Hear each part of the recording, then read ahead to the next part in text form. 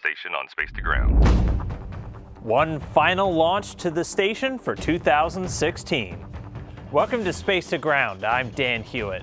The last cargo delivery of the year is on its way to the International Space Station.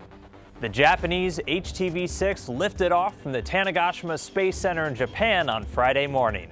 Packed with more than four and a half tons of hardware and supplies, the spacecraft is now on a four-day chase to catch up to the station. One payload of note includes six new lithium ion batteries, which will be installed during a pair of spacewalks in January.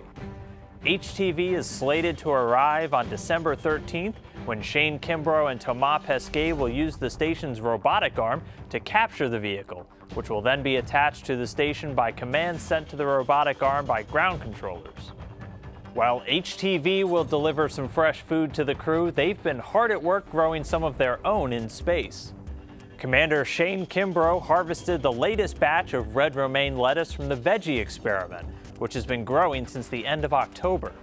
The crew is using a cut and come again technique that takes a selection of lettuce leaves while leaving others and the core of the plant intact, resulting in additional harvests approximately every 10 days.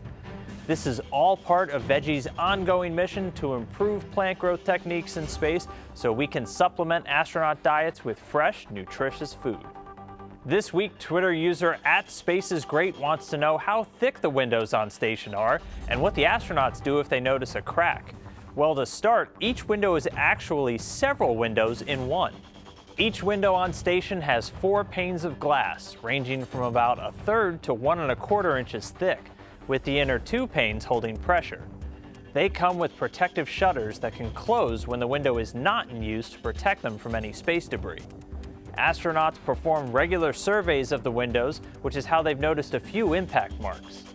There aren't any repair kits, so if those inner two panes were to become damaged, the crew would likely isolate the module the window is in. Keep sending in your questions using the hashtag SpaceToGround. We'll see you next week.